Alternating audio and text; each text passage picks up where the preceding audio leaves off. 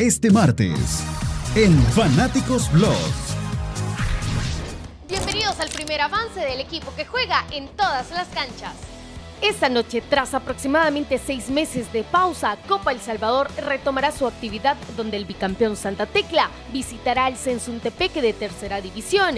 Además tendremos la actualidad de los salvos de Alianza que enfrentarán al 11 municipal en Aguachapán. Esto y más en el Plus. Recuerda seguir toda la información del balompié nacional e internacional a través de nuestros medios sociales. En Facebook, Fanáticos con el signo más. En Instagram y en Twitter, arroba Fanáticos21. Fanáticos Blogs. Lunes a viernes, 9.30 de la noche.